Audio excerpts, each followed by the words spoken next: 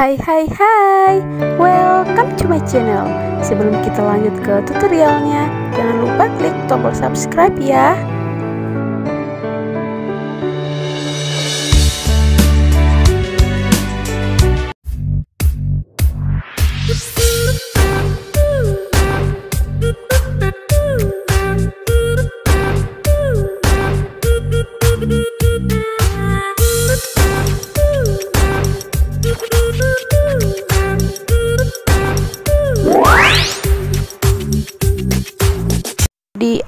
Vestanik untuk kulit kombinasi. Alat dan bahan yang kita butuhkan yang pertama-tama ada botol spray. Yang kedua ada air mawar. Yang ketiga ada Vestanik green tea. Dan terakhir ada Vestanik extract lemon Cara membuatnya, pertama-tama kita siapkan botol spray yang sebelumnya telah kita sterilkan dahulu. Kemudian kita masukin air mawar sebanyak seperempat dari isi botol spray.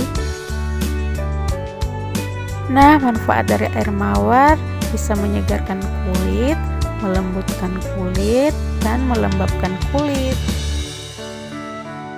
Kemudian kita masukin face tonic green tea sebanyak sepertiga dari isi botol spray.